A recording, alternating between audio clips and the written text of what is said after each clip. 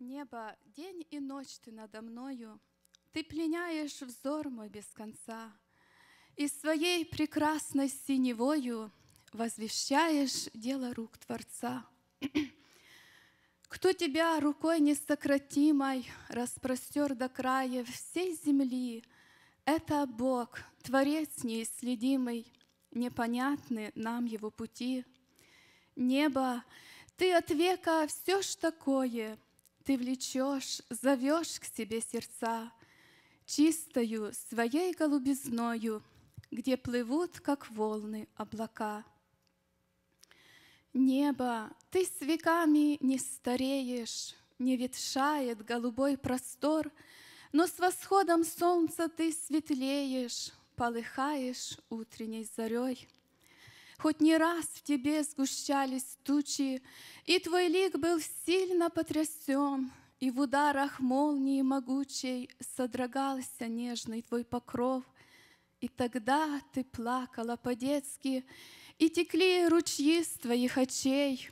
Но о чем скажи, о чем ответь же твои слезы в тишине ночей? Может быть, о том, что человеком много зла творится на земле, И свои суды свершаешь ты от века блеске молний, громов и огней. А когда опять все усмирялось, Позабыв людских грехов позор, И ты нежно людям улыбалась Ласковым от солнышка лучом, а когда ты станешь ярко звездным в лунном блеске, в тишине ночной, я приду к тебе с желанием слезным, принесу усталый взор очей, расскажу печаль тебе свою я, принесу сердечную тоску.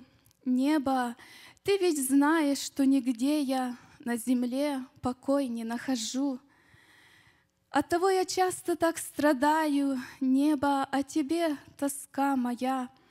На земле отрады я не знаю, манят меня дивные края. Не за то, что только голубое, потому я так люблю тебя. Знаю я, что там, за облаками, Родина небесная моя. Знаю я, что там мой Искупитель, мой Иисус, и верю, буду я — там, где ждет меня Господь, хранитель, где отчизна вечная моя.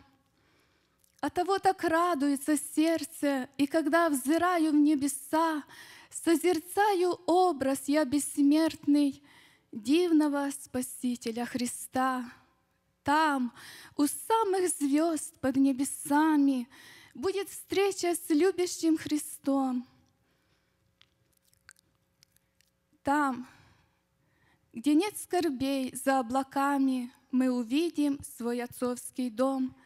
И тогда вся церковь, как невеста, будет взята в небо со Христом.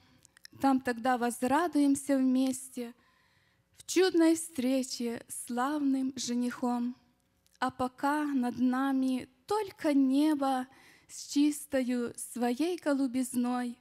Ты прекрасна, ты светло, о небо, ты зовешь в отцовский дом родной. Аминь.